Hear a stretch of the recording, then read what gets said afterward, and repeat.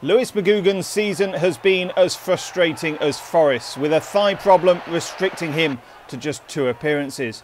But the youngster will hit the comeback trail tonight when he plays in the reserves against Walsall, and he's delighted to be back in action. took longer than I, first thought it would. Uh, there's been a couple of setbacks, but um, hopefully uh, I'll come through tomorrow night, uh, all being well, and uh, we can kick on from there just to put that kit on again and, and actually you know play on that pitch really. Uh, but obviously I've just got to be careful and obviously just be steady and, and just and just see myself into the game uh, and then hopefully it will all come back really.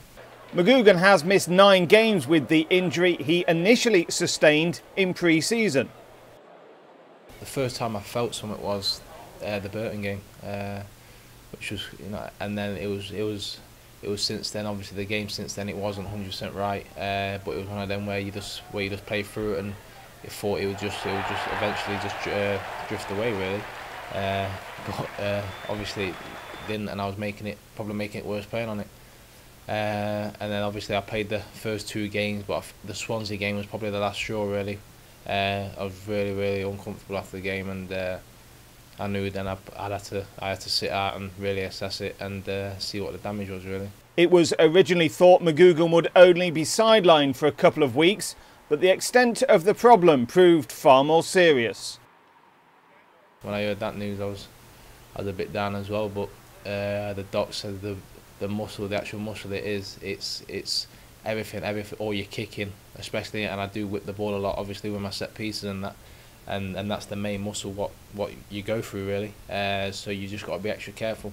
And it was one of them. If I'd if I'd come back a bit too early and it had gone completely, uh, then it would be a real real real long layoff. So.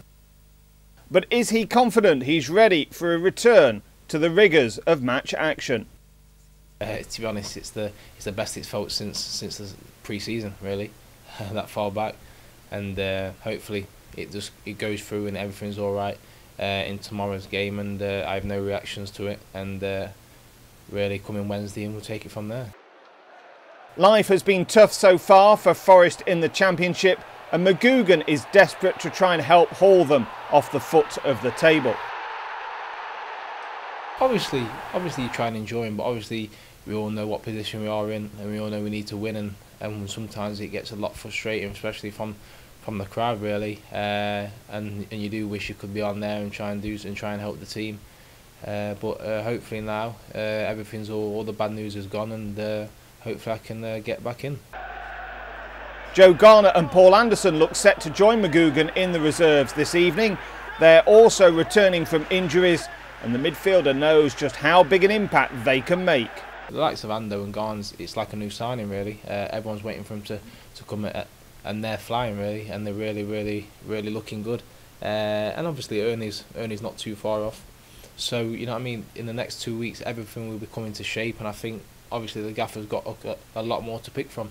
I think soon as, soon as we get that first win, even a couple of wins on our belt, I think we'll be fine, and I think we'll kick on from there. Obviously, we've uh, we've lost quite a lot on the bounce, but all it takes is that little run, five, six games on the bounce, and then you, you're right back in there.